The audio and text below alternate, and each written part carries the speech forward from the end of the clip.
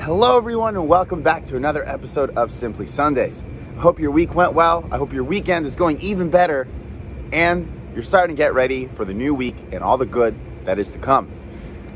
I had a thought earlier this week while watching one of my shows, and obviously having a glass of red wine, and the thought was this. So many times we make friendships, relationships, even within our family, intimate, work relationships, and anything else you may have it. And subconsciously, sometimes we put those people on a pedestal, or we look up to them, or we need validation from them. And what this does is initially sets us up to feel inferior to whoever that person is.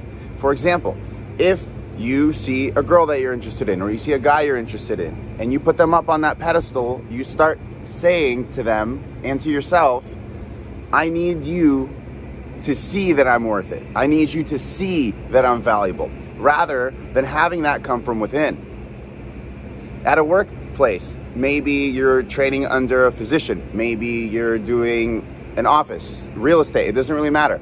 But if you're working under someone and you see them in that same regard, you're waiting for them to say, Good job, Felix, on that project that you closed. Wow, that was a really good effort you put on this week, or whatever else. And if we don't get those things, our self esteem goes down, our self worth goes down. And that is not a healthy way to live. I don't want to get too much into family because it could be a very triggering subject for some, and that is not my intention here. My intention from this video is to say, hey, let's look at our own outlook. Are we giving people control over our feelings? Are we giving people control over our happiness?